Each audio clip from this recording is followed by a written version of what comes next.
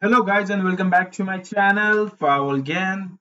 Let's check out some of the cool features which we get from the new R81.10 Smart Console application which is Smart Dashboard.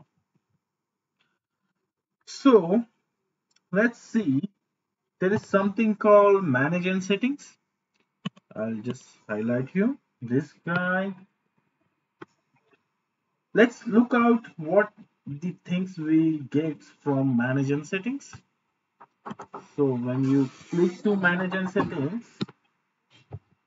you will divert to the page where you have different options like permission administrator blades sessions tags preference sync with user center, smart task, package repositories, policy settings. Today we are concentrating on this guy which is preferences. I'm sure uh, due to the heavy work we won't notice what are the you know different features offered by the uh, checkpoint so my purpose is to you know get you through all the different new features which we get from the checkpoint. Let me clear the screen here. Uh, let me go to this preference.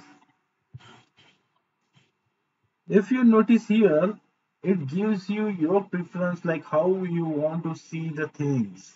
So for example, the IP address versions, how you would like to have them. It's like IPv4 and IPv6 or IPv4 only or IPv6 only how the subnet display format should be. It's like a mask length, like a slash 24, or a subnet mask, like 255, 255, 2550 kind of thing.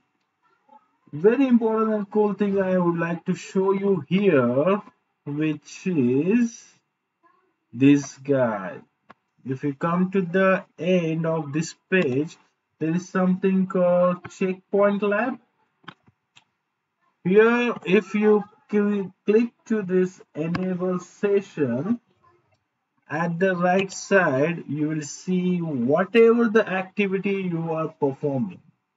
So one by one whatever changes you are going to perform it will be visible here. For example let me say click here show custom message. And if I am say doing something here writing something you will see those changes this side. Right?